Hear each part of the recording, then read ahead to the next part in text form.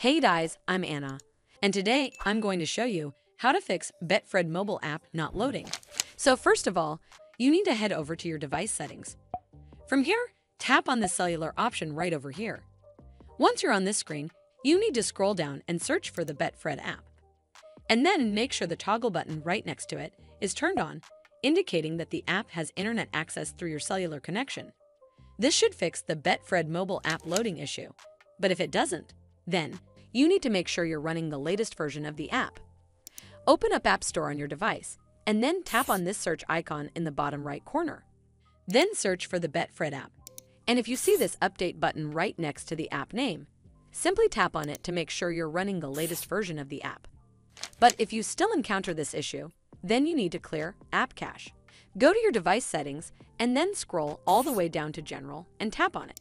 Then tap on iPhone Storage. From here, search for the Betfred app and then tap on it. Once you're on this screen, you need to tap on Offload app.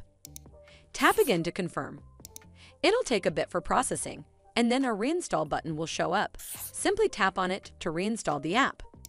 This should fix the issue, but if it doesn't, then you need to completely reinstall the app. Follow the on-screen instructions to navigate all the way to the app page.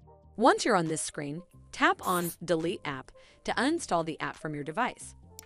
Once uninstalled, you need to open up App Store and then search for the Betfred app right over here in the search bar. And then click on this Get button to install it back on your device. Well, that's how you fix Betfred mobile app not loading. I hope you found this video helpful. And if you did, make sure you give it a thumbs up to see more videos like this, and don't forget to hit that subscribe button. We'll see you in the next one.